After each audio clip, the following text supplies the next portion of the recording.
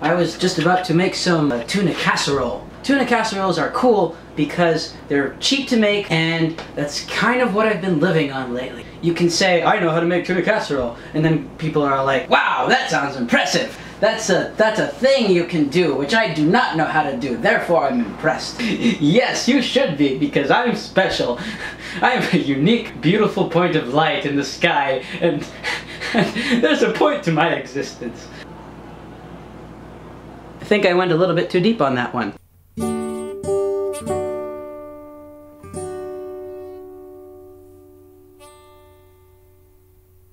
Now I'm going to show you what the ingredients are.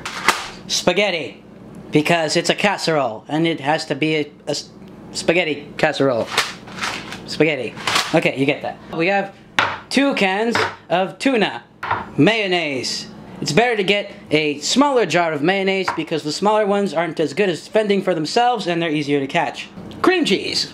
I got the chive and onion cream cheese because I said to myself, what the hell, it can't hurt. Basil. Basil, very important. If you can use fresh basil, use fresh basil. If you cannot use fresh basil, use what I got. Cloves of garlic. Because you never know if you need to find out if your house guest is a vampire. Also, garlic powder. You can never be too sure. Salt. I use David's kosher salt because, you know, you really want to kill those vampires. Tomatoes. Because they're pretty. They're pretty and red and it'll add color. Okay.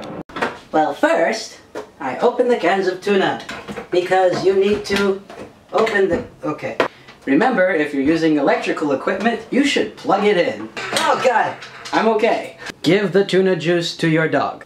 This is actually part of the recipe. You have to do this, otherwise it won't come out as good. Add the tuna to a bowl, because adding it to anything else would be weird. Remember to wash your hands before you do any of this, because you're not a filthy animal. Make sure there are no sharp edges to the can, and then give those also to the dog. Nom nom nom nom nom nom nom. It's kind of like hockey, only with your tongue. I like to squeeze the remaining tuna juice into the sink, because saying tuna juice sounds disgusting. And now I like to peel and chop off the garlic. Take the garlic, crush it, and then it becomes easy to peel. Why I'm speaking like this, I do not know. Cut the garlic. Now, Remember, it's hard to drive when your fingers are bleeding. So, it's better to start slowly and to be very cautious.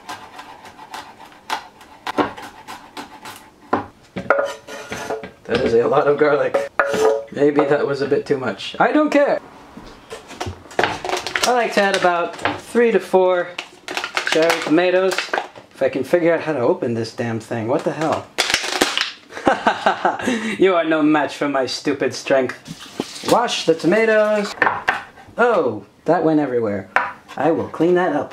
Oh, it's splashing all over the place. I guess you could also use this as a tutorial how to make ketchup. If your gigantic knife is splattering tomato everywhere, it's better to use a serrated knife. Tiny, but it's not the size that matters, it's how you use it. At least that's what I'd like to believe. I'm so not putting that part in the vlog. Add it to the mix.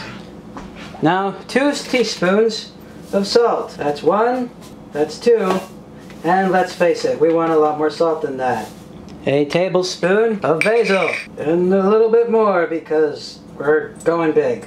A little bit more garlic powder because vampires. And finally, after you break its little neck, you add the mayonnaise, about two tablespoonfuls. And you mix the large amount out of it. And when nobody's looking, you taste some of it. That's actually pretty good.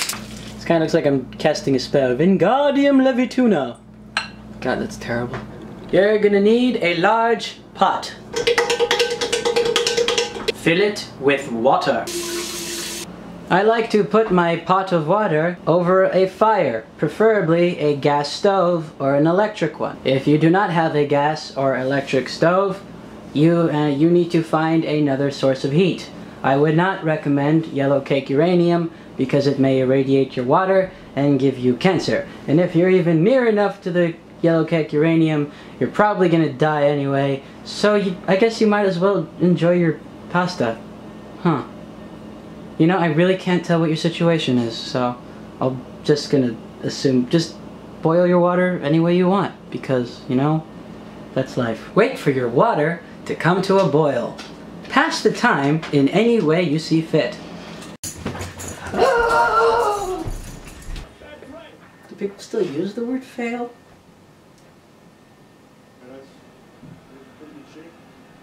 Hmm. They say a watched pot never boils, but I've got a camera on you, mother. And that looks like it's boiling.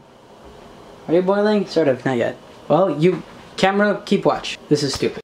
Add pasta to boiling water. Why am I talking like I'm on Prozac? I don't know. Boil.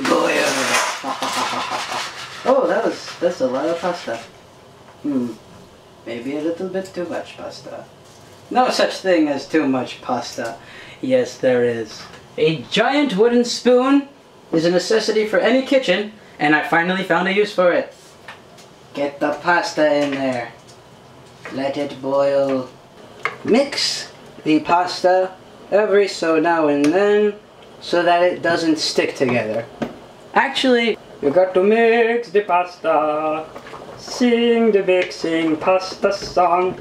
Mix it in figure eights, circles, doesn't really matter as long as you mix it. La la, la la la la pasta, la la la la pasta.